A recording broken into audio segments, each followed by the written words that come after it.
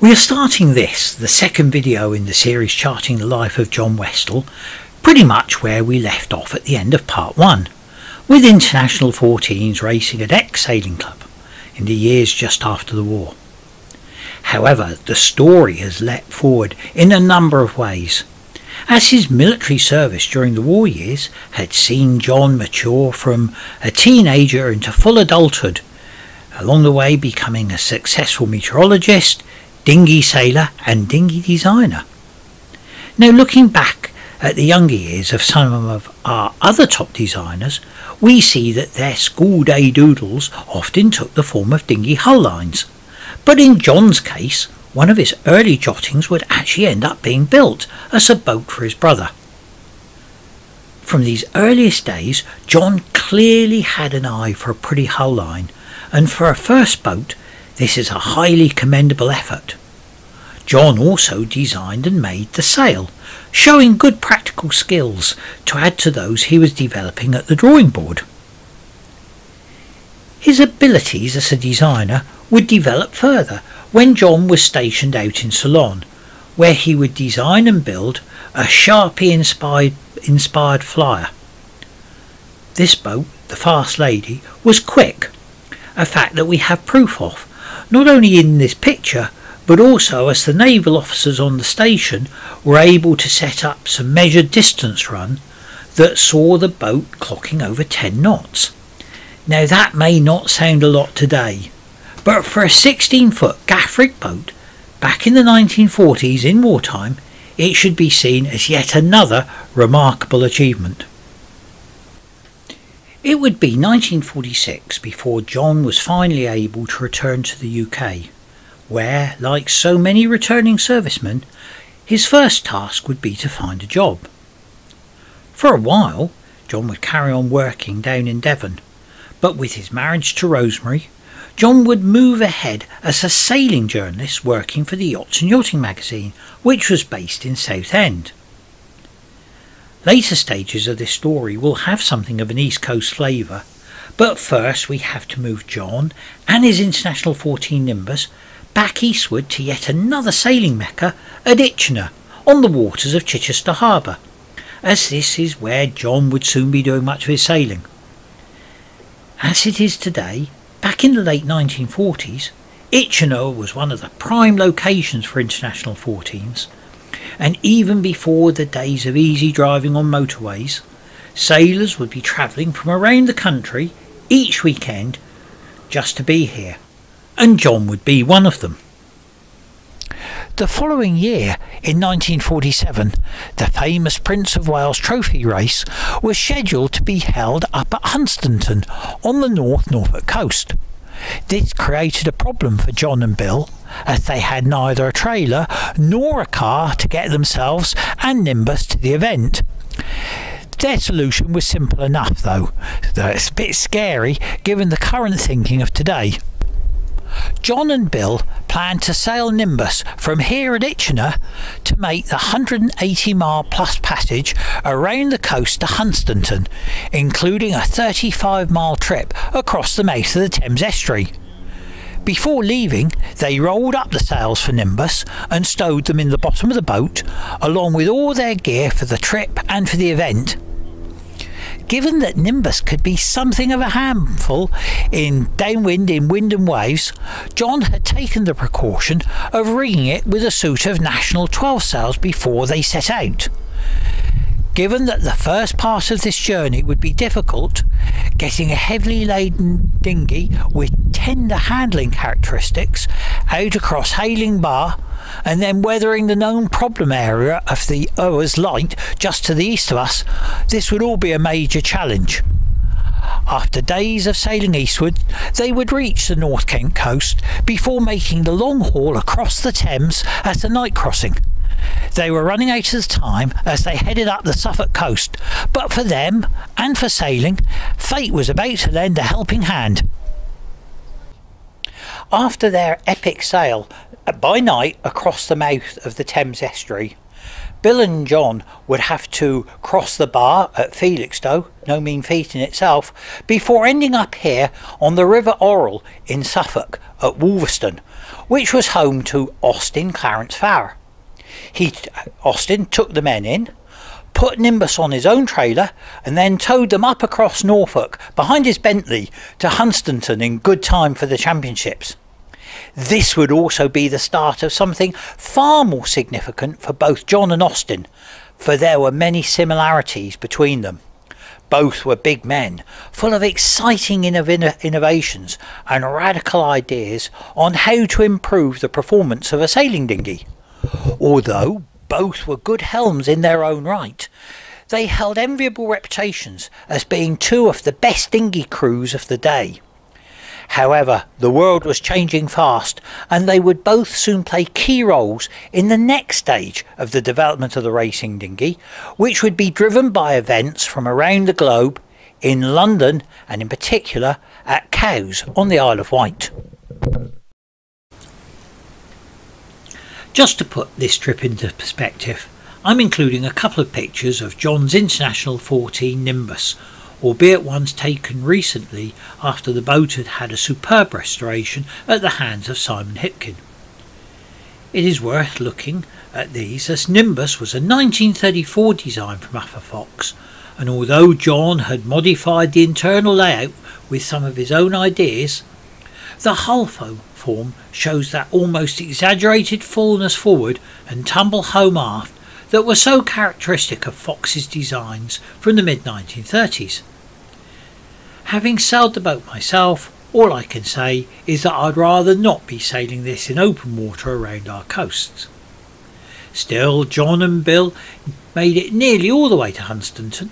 and it would have made for a wonderful sea story if we could say that they went on to win. But this is not the case, as this was the era of Stewart Morris, Martin Beale, and the iconic International 14 Martlet. For John, life would be changing fast, as not only was he now working full time as a journalist for Yachts and Yachting magazine, but he was also growing his interest in the techniques of not just dinghy design, but the factors that help generate speed. As we can see when we look at the lines for Dingbat, and as you can see from these pictures, John had gone for a scale hull form, complete with a sliding seat, to create an unashamed blasting machine moreover one that may have foretold the development of the fireball nearly 15 years later. These were also exciting times for John as a competition sailor, and as his skills and experience grew, so did his reputation as one of the top crews of the day. John would get results, both in the Merlin rocket, crewing for Jack Holt,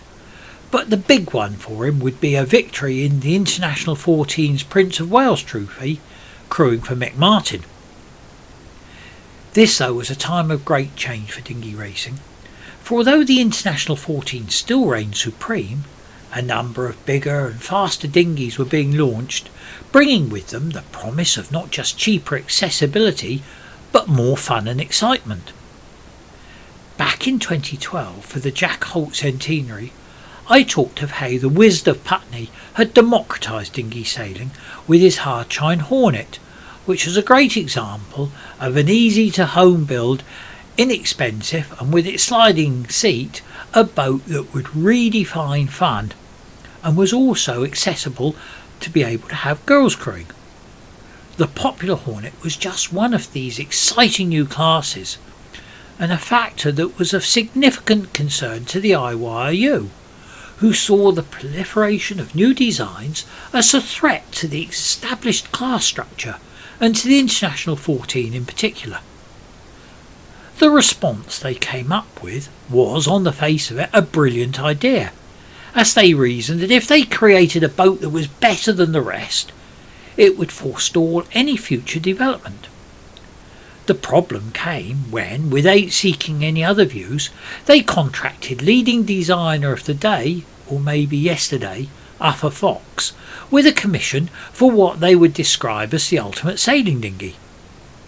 Implicit in their plan was the promise that the new boat would be granted international status before being used in the 1956 Olympics.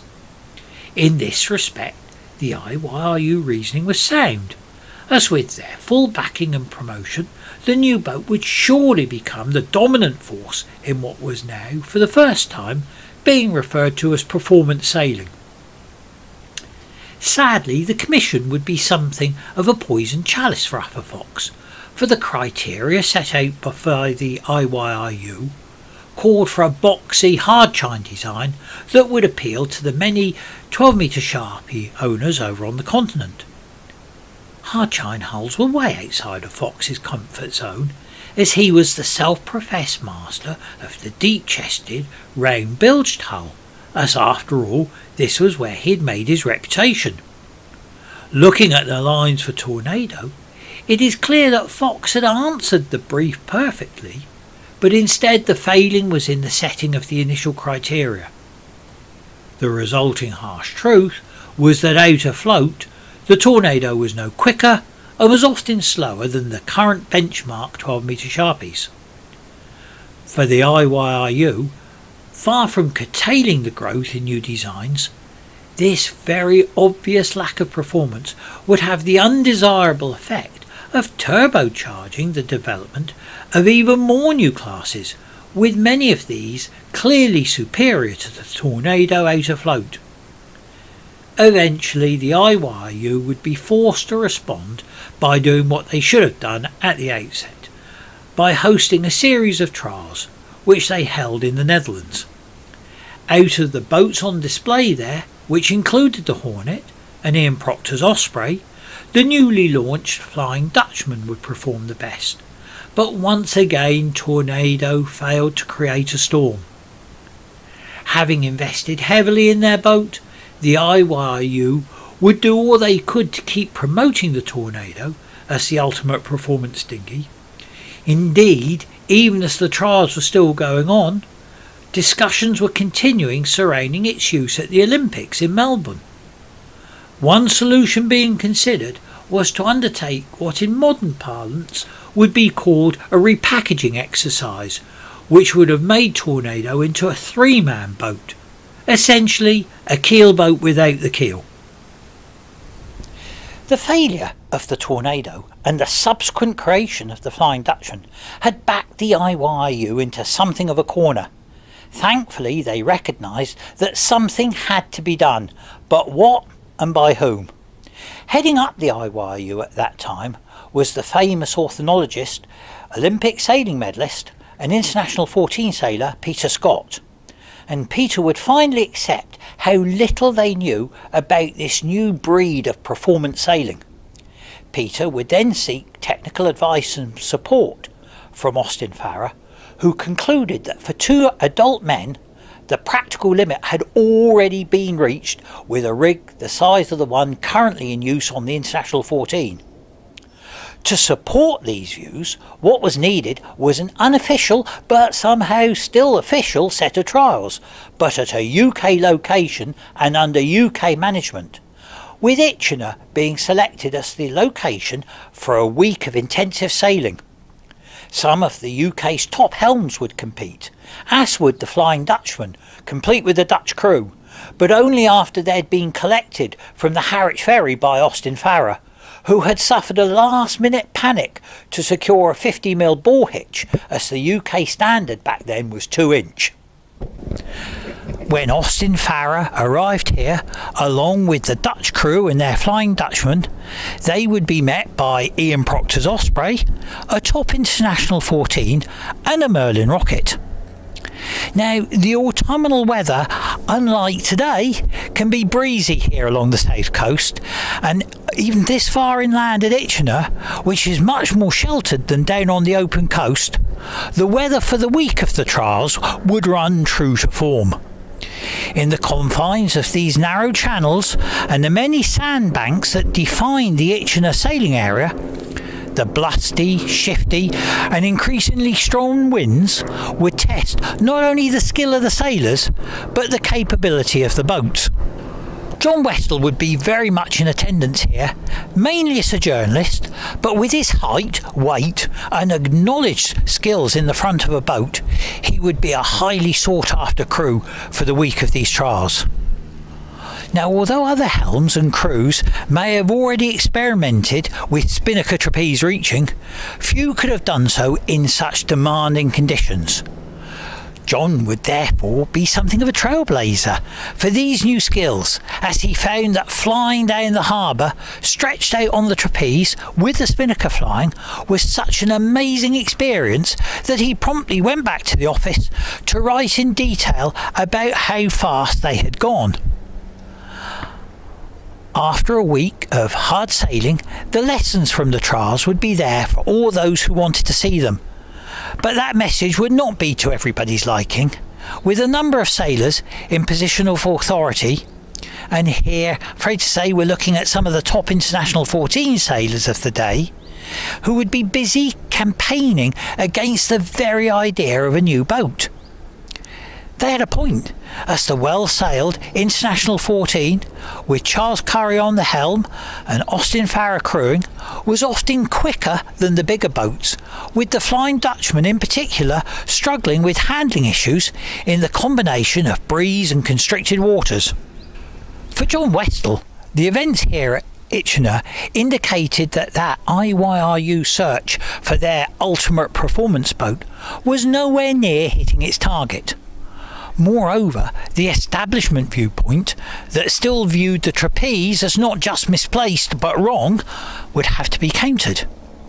There were no glittering prizes to be had, but the good news post Itchenor was that the IYRU would now start to get things right.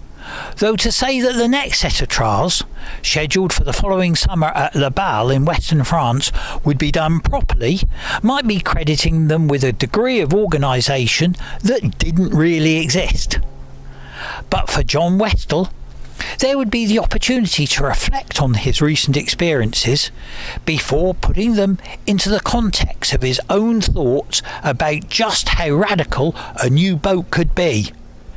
As Gillian Westell told us down at Exmouth, he would now have that faraway look in his eyes that said he was thinking about designing another boat, and this time with the backing of fellow sailor Max Johnson, who was also a member here at Itchenor, he had that all important financial backing to make it happen.